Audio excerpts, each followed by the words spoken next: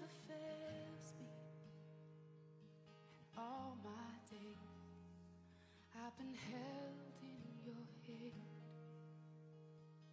From the moment that I wake up until I lay my head, oh, I will sing of the goodness.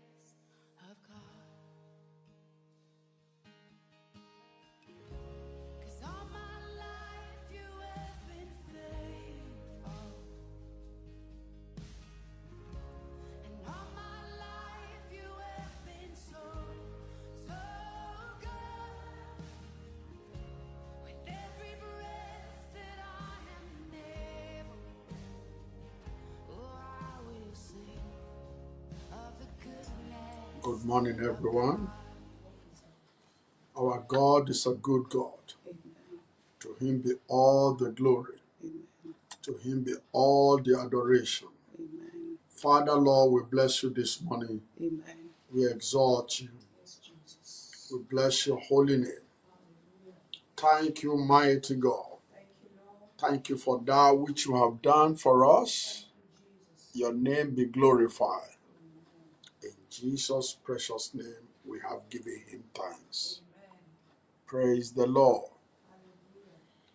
Well, what a good day. What a good time. I want each and every one of us to be excited about what the Lord is doing. You may not see it now, but God is doing something in your favor and in my favor. Very shortly, what the Lord is doing will be made visible in your life. So never you cease from giving thanks unto the Almighty God. He's a faithful God. He's a great God. God bless you. I also want to take this opportunity to appreciate all our people who are participating on this program. Thank you for being there for us. Those of you who lead prayers, who coordinate along with me, God of heaven will reward each and every one of you. And I pray that the grace of God will keep on multiplying on your life in the name of our Lord Jesus Christ. Nuggets for successful living, we're still on it today. And we are talking about the place of timing. And several things were unfolded to us in the course of last week about timing. And I believe today God will yet speak to us. And we will be lighting, we will be happy. God's word bring joy. He said, The entrance of his word giveth light. Wherever there is light, there is joy. Your joy shall be full. God will divinely intervene for you. God will come through for you this year in the name of our Lord Jesus Christ. This year, indeed, divine identity shall be your portion. Everything that is lesser than what heaven represents will vanquish out of your life in the name of our Lord Jesus Christ. We are still on the subject of time, like I mentioned, and Ecclesiastes has this to say that there is time for everything under the sun. In chapter 3 of Ecclesiastes, it said, To everything there is a season and a time to every purpose under the heaven. I want us to take this serious because I have seen and I have noticed in many lives, timing has been misappropriated. Verse 2 says, A time to be born, a time to die, a time to plant, a time to pluck that which is planted. Can you see that? A time to kill, a time to heal, a time to break down, a time to build up. When you look at it, you will understand it's a time to weep, a time to laugh, a time to mourn, a time to dance, a time to cast away stones, and a time to gather stone, a time to embrace and a time to refrain from embracing, a time to get and a time to lose, a time to keep and a time to cast away. Look at it one more time. A time to reign, a time to show, to, to show, a time to keep silence and a time to speak, a time to lose, to love and a time to hate, a time of war and a time of peace. Success is not exceptional. There's a time to prepare for your success, and there's a time to show your success. There's a time to look like you are failing to someone, and there is a time that you will actually wins their applaud because we are succeeding. So everything in life is time tag.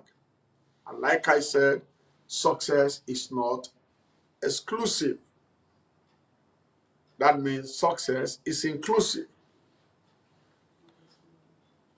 Now, when you look at life, you find out that people talk something to be successful when it's glittering. But when you are working out success, people tend to despise you. And that has led many to misappropriate their time. That has led to so many fake life, falsehood. That has led many to lie to themselves, not even to people. Because we want to show that we are succeeding all the time. I read two scripture the other day. We at least we actually look at that towards the end of the last broadcast. We look at uh, Luke chapter 1 and verse 8. It said, And the child grew and waxed strong in spirit, and was in the desert till the day of his showing unto Israel. See that? There was a time he was a child. There was a time he was waxing strong in the spirit, and there was a time in desert till till the day of his showing of his showing unto the children of Israel. So now you discover there were process and there were stages. I want you to know your life also has process and stages. Everything you are doing had at, at stages. It has stages of manifestation. Even plant, the Bible talk about the blade, then the leaf. Said that when you sow a seed, this part will germinate, this will appear first, the blade, then the full fruit or the full corn. I want you to begin to appropriate the mystery of timing to whatever you are doing. Life is not a competition, as it were. Life is to complement, it's for complementation. You have your time, I have my time. When it is your time, I take my breath. When it is my time, you take your breath. It talks about that in Mark chapter 4 and verse number 28. He said, For the earth bringeth forth fruit of herself. First the blade, then the air, and then the full corn in the air. You see that? I want you to understand this so that you stabilize your health. You stop living in anxiety. You stop calling yourself the name God has not called you. Jesus keep on saying, like I kept on repeating, my time has not come. If Jesus understood the mystery of time, of timing, and he appropriated accordingly, and he became the most successful leaders we've ever seen. Why not you embrace that principle from now onward? Put your life on high tension 24 7 in your quest for success. You may damage your organs. You may cause confusion in your metab- in your body metabolism. Take one day at a time. Take one day at a time. Appreciate God for every stages. Don't mirror, don't use other people's life to mirror your life. Don't. Don't. I love this scripture. It says, Lo, I come in the volume of a book written of me. There is you, and there is a st- and there are stages of your life. Maximize every stages with understanding of the mystery of timing. Praise the Lord. I said, Praise the Lord. Now, you know, the popular scripture we quote over and over. I saw something new yesterday. You know, the Bible says His word is new every day. I want you to look at Isaiah chapter 60. Then you will understand. Isaiah chapter 60, and I read from verse 1 to 2. Isaiah chapter 60 and verse 1 to 2. This book uh, is one of the book that people use to to a chapter that people use to uh, propel their success. But there is something outstanding about that same chapter of the book. In Isaiah chapter 60, verse 1, it says, Arise, shine, for thy light is come. Arise, shine, for thy light is come. And the glory of the Lord is risen upon thee. For behold, darkness shall cover the earth, and gross darkness the people. He said, But the Lord shall arise upon thee, and his glory shall be seen upon thee.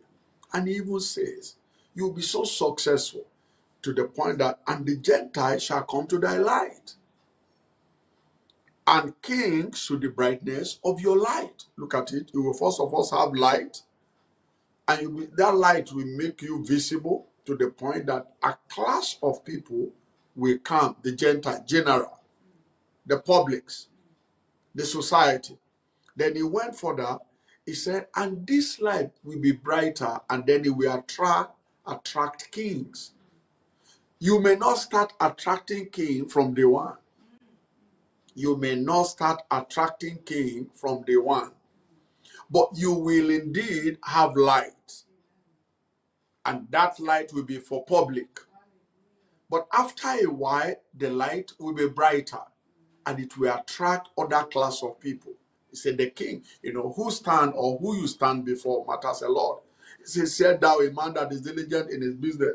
He said, this man shall not stand before me men, but he shall stand before king. These are very, uh, uh, uh, these are, this, this very verse of scripture open my eyes that, look, success is like it's in succession. It's, it's, it's like it's in degree, one level of degree to another. It is not an overnight thing. And I need to speak this over and over, over and over, over and over in, in, in the midst of believer. We need to keep on emphasizing this.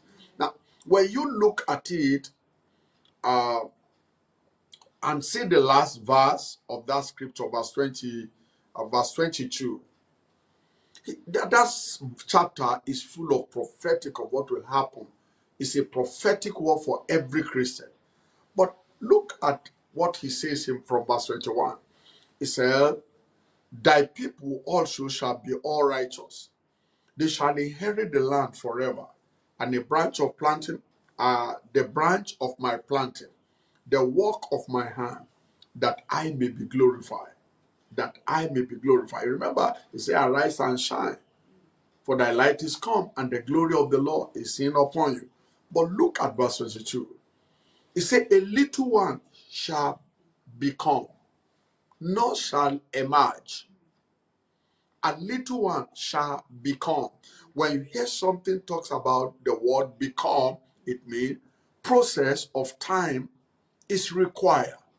It's not an overnight. He said, a little one shall become a thousand, and a small one a strong nation.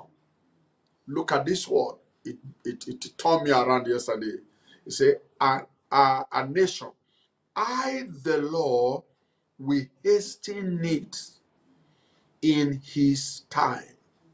I, the Lord, will hasten it in his it time. If you want to open it up. Now, when you see the same uh the same verse of scripture, and that's why it's always good as a Christian, we take our time to look at several translations so that we can see from different angle what a particular scripture is saying.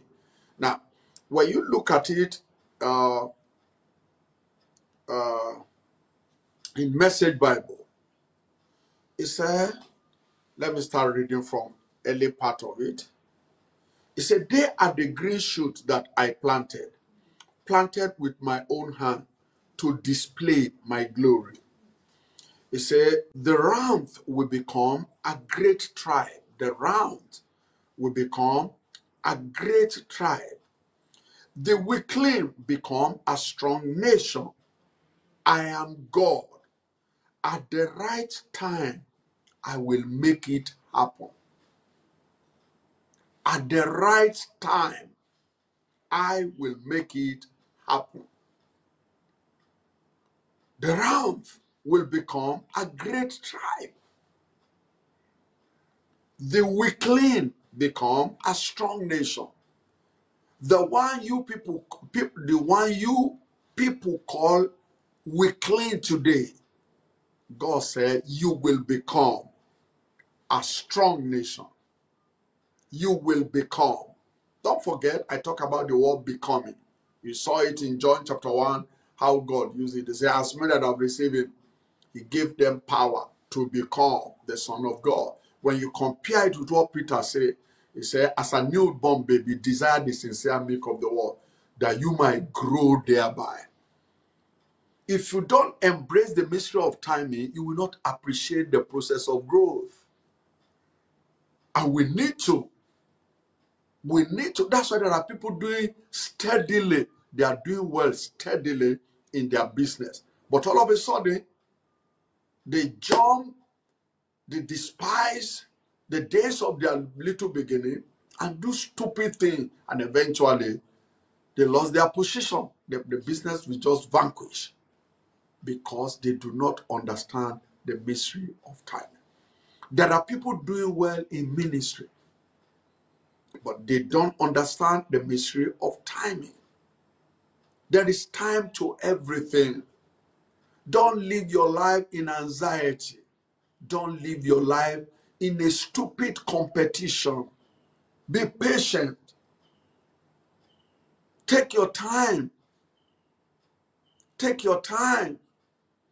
I love eh, it. It said, the round will become a great tribe. The weakling become a strong nation. I am God. At the right time, I will make it happen. When we embrace the place of, of or the mystery of timing as far as success is concerned, we hand it over, we hand over our success to God's ability. In other words, we hand over our success for God to bring it forth. I am not teaching of indol- I'm not talking about being indolent. I'm not talking about being sluggish. But I want you to know that whatever effort you are putting in place, know that your effort alone is not what's going to culminate in success. There is the role of God, and anything God is involved, time is allotted for it. Time is allotted for it. I watch chicken, like I keep on saying. I watch chicken, I see broiler, I see the local rural chicken, the hen around our neighborhood. One grew very fast, and the other one take his time. When challenges of life, maybe there's an outbreak of disease, you discover they respond differently. They look alike, but when it comes to outbreak of disease, they respond differently. Why do they respond differently? Because of the time invested. The time invested in raising a broiler, one at, uh, at after six weeks is 1.1.4, one, if I can be 2 point something. But after six weeks, for for the local chicken, is still very small. You see, timing is of timing is very important in your success. I made a practice shot few days ago. If it does not take you time to attain it, it may not also take time for you to lose it. Let's embrace timing. It is timing that give God, that give you the single privilege of God to be behind your success. It is timing. When you embrace timing, then you are likely to secure the input of God in your success. And you know what that means? He said, Whatever the Lord doeth shall abide forever. I pray for you this hour that you will have this understanding, that you flow along the plan of God for your life, along the plan of God for your life, that you will accept the way God laid his plan. You will not be jumping here and there, mixing things together in a bid to show to the world in a bid to confuse order, in a bid to impress people, in a breeze, in a, you know, in a, in a in an attempt to attract people that you don't even know their plan for your life, if at all they have one. This scripture said the round will become a great, a great tribe. That is, things that are not all that way important. Hmm? The, the word round means a small pig or other animal, especially the smallest, the smallest, are people of uh, uh, uh, it's like a people that are no people. You remember Peter talk about that. He said, These are people that are not a people, but now have, have now become the people of God. This is very crucial this morning. And I speak to the youth. Learn to appropriate your time. The round shall become a great nation. The weakling, what did he say happened to weakling? He said, the weakling will become a strong nation. That is message translation. He said, I am God. At the right time, I will make it happen. At the right time, I will make it happen. Please wait for your turn. If it is not yet your turn, it will, it will, it will turn you down. And if it is your turn, who is he that will stop his hand? That's why he said in Ezekiel, I will overturn and overturn and overturn until the turn of the, of the people who he is, and I will give it to him. Look at what God is saying here. He said, At the right time, I will make it happen. At the right time, I will make it happen. God bless you and prosper you. Where you are walking, there is a time to take root downward. Where you are walking, there is a time to build your profile. And also, there is a time that you begin to harvest. Please know you cannot jump one stage and arrive to the other successfully. If you don't have a time of sowing and you want to have a time of harvest, you'll be thief. Then that is how many have branded their life with name that God has not given them.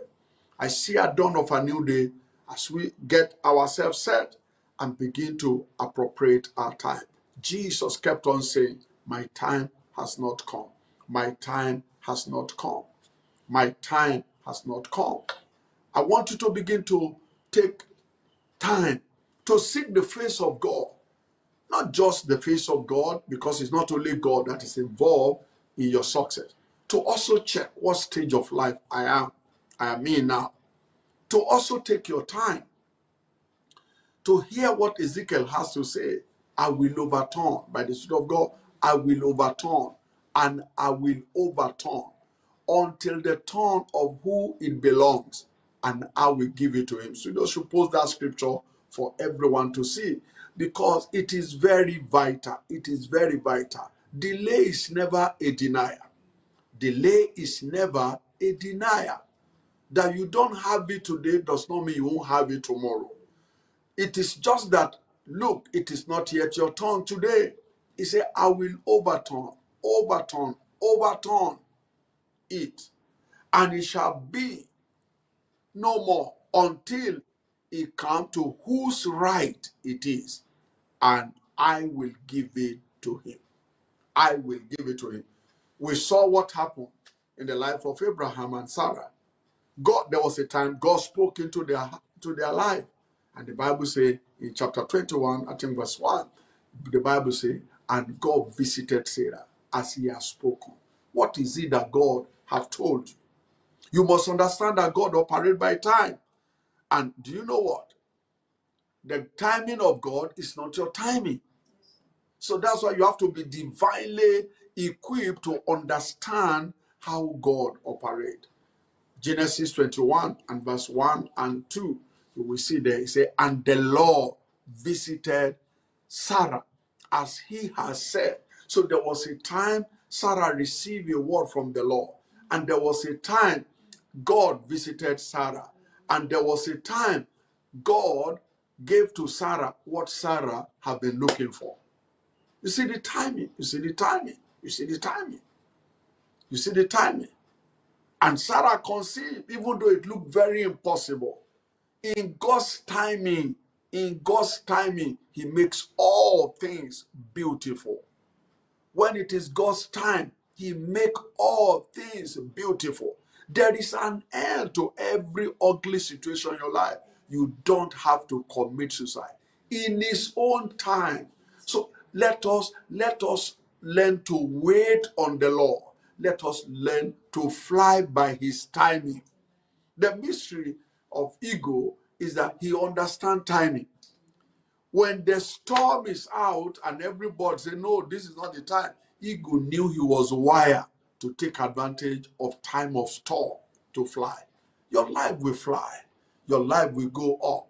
Your life will go up in the name of Jesus Christ. Your life will be abundantly blessed in the precious name of our Lord Jesus Christ.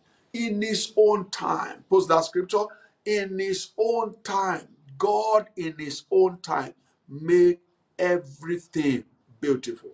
He said he has made everything beautiful in his time. In his time. In his time. When it is when you are riding on the timing of God, it is effortlessly. It is effortlessly. But when it is not time of God, it's full of struggle. It is full of struggle. I pray that God will give you understanding and then you will appropriate your time. And as you begin to appropriate your time, you will discover certain thing you are looking for just come to you without any effort. Without any effort. Timing is very crucial. And that makes it one of the understanding of timing is one of the most vital tools in your quest to look uh, to live a successful life. Be blessed of God. As you face the rest of the li- your life, I want you to put this into consideration that it can be somebody else's time and it's not your own. And his own does not lock you out. His own does not lock you out. You come in a volume of a book written, written about you. If your life is like a book, you could be in chapter 4 and I'm in chapter 2. So we are not going to hear the same story. Remember, you came here to fulfill a purpose. Your purpose, our purposes differ as our faith differ. So wherever you are, whatever you are doing, whatever assignment God has given you, I want you to understand the mystery of his timing. Don't get inflated, don't get don't get depressed on anything. I always tell people, why do you want people to applaud you when they are not the one who have assigned you a duty? This is where we miss it. This is where we miss it. Your purpose was designed by God. So God is the only rightful person who can judge you. Don't look for what is appealing. Don't look at what is appealing. Please look at what line up with your purpose. Look at what line up with your purpose. Very important. I always tell people be inspired by people, but don't judge your life by what happened in the life of others. You have heard people say, "Oh, if I'm a president, oh, if I'm this." But when when you hear those presidents have disease, do you still covet to be one? You can't put every face on. You have your own face, and your life is also in faces. I have my face, and my life is also in faces. My chapter is different from my neighbor chapter. What my neighbor is to fulfill is different from my, from mine. So his progress will inspire me that my own time will come along the line of my purpose. When I see mighty church build, I just thank God. I say, God, you have helped these people to this point, you will help mine. But the fact that they have finished their own and have not started does not jeopardize my joy. No, does not jeopardize my joy. Jesus will tell people, go to the feast, it is your time. But as for me, it is not yet my time. May the Lord be with you. I see God giving you stability. This is word of wisdom to stabilize your head. You remember Isaiah chapter 33 and verse 6. It says, Wisdom and knowledge shall be the stability of your time. Wisdom and knowledge shall be the stability. Isaiah chapter 33 and I think verse 6. It says, Wisdom and knowledge shall be the stability of your time. Many people are living unstable life. They are ever tense every now and then. Everything they see in town or the happening around them disoriented. That is not the will of God for you. Stay stable, stay happy, stay joyful. He that promised to come will surely come. Don't let anyone blow you like a balloon. And wisdom and knowledge shall be the stability of thy time. And the strength of salvation, the fear of the Lord is his treasure. Wait for your turn. Young lady, wait for your turn. Your turn is there. The fact that somebody is enjoying it now, the kind of life you admire, does not make it your turn. I always tell my children that you see does not mean you should have it. I always tell my children, look, that is available doesn't mean that this available doesn't make it your size. There are many shoes you see in the house, but it's not your size. If you wear it, your your your your your movement will be constrained. You will look ugly, and that is how many people have wear wrong cap, wrong hat at the wrong time, upon wrong dressing of their life, and that have jeopardized every great plan that God has for them. You will not be a victim in the name of Jesus Christ. You are building a house, just keep on building it. The faithful is he who have begun the work, he will complete the building. Don't mix it, just keep on building. Because if you build, if you are building and you begin to cheat others, and you begin to bring, look for diabolical power. Now, when you complete the house, can you protect yourself? Can you defend yourself? Can you make such house a Goshen where no evil happen? Who build with you will determine who live with you. Who is building with you will determine who, who, who, who will live with you. Don't build with other people's sweat. Build with your own means. And the Lord will bless you and the Lord will prosper you. I commend you to God and to the word of his grace, which is able to build you up. The word I've shared this morning, I see it bringing healing to every psychological heart. That demon that is telling you you are behind your mate is a liar. It's just God's timing. And in his own time, he makes everything beautiful. Let's flow with his timing in everything that we are involved. You are waiting for children, wait for his timing. Wait for his timing. He has not forgotten you. He said he took number of your hair. That's why when they fall off, he replaced. Why will he not give you a child in your lifetime? People that will flow your legacy. He gave Isaac to Abraham. You are the seed of Abraham. Get ready for a surprise. I pray for you that you are next online to have supernatural conception that will baffle your world. God is not limited in his power. Only is waiting for his time.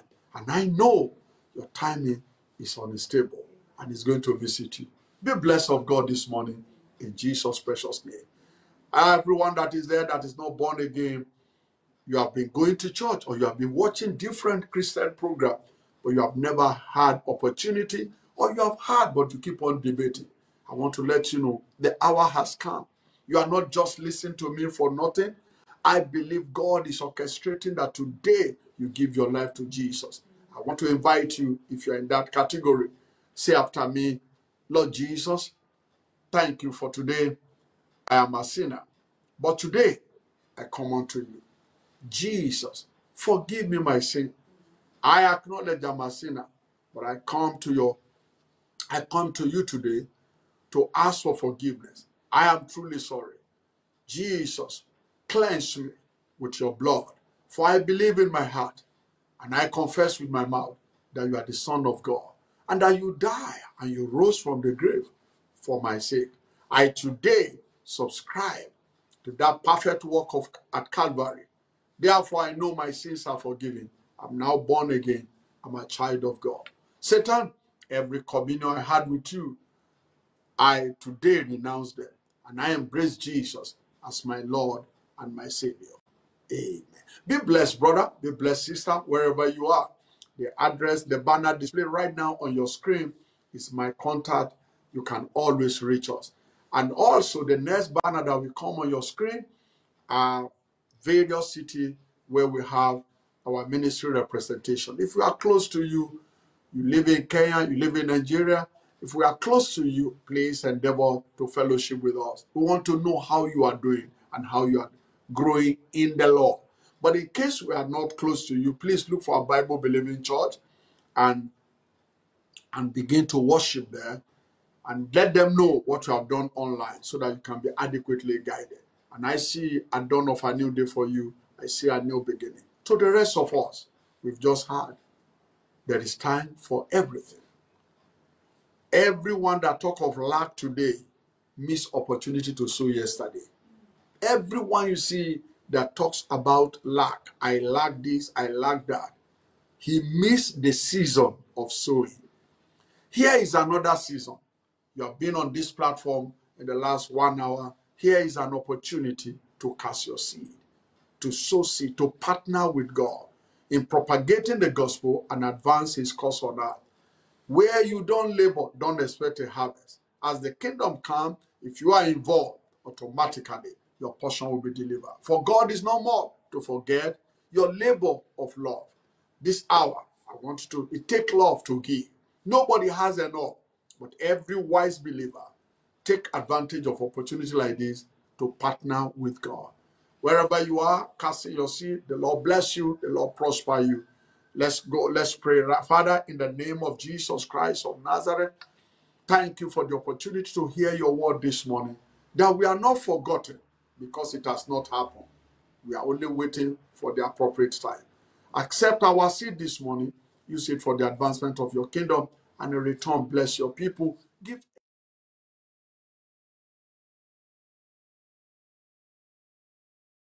a time of multiplication, a time of visitation. Make this weekend a unique weekend for everyone under the sound of my voice. Be blessed. Amen.